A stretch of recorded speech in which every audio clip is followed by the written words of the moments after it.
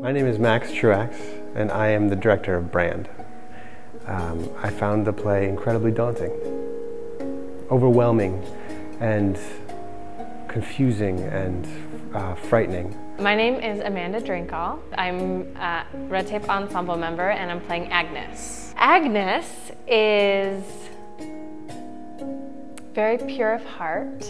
John Arthur Lewis uh, playing the mayor in Brand. One of the themes of this play is all or nothing um, that he was really fascinated with. So the character of the mayor is someone who's he loves his village and he wants to look after it and he sees Brand and his type of religion being a, um, a threat to it. My name is Sarah Pretz and I'm playing Gerd. Um, as others see her, she's just a, you know, the the town crazy gypsy, but as Brand and as the audience sees her, she's kind of the last scion of God's line of defense left on earth. She's a, a true warrior of God in, in Brand's theoretical battle between good and evil. I'm Carrie Drapac. I'm an ensemble member with Red Tape, and I'm also the ensemble representative within the company. Uh, within Brand, I am playing the role of the believer.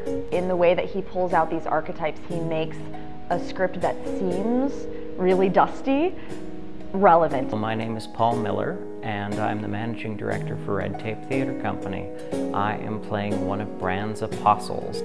Uh, my role of the apostle is the first townsperson that Brand touches, the first person he changes for the better. My name is Kevin Crispin. I am playing the skeptic.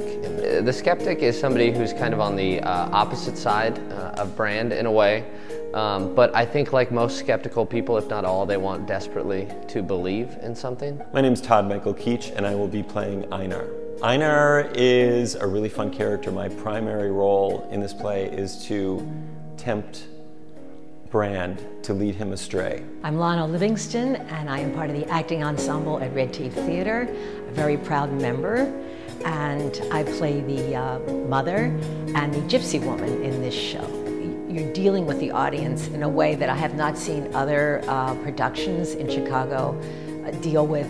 Um, I don't know what experimental means anymore. I don't know what avant-garde means anymore, but I know something about um, the um, wonderful uh, pleasures that an artist can get by taking risks. Uh, my name is Cody Proctor, and I'm playing Brand. Brand, well, He's, uh, he's a man who's been chosen, um, he believes he's been chosen by God to save mankind.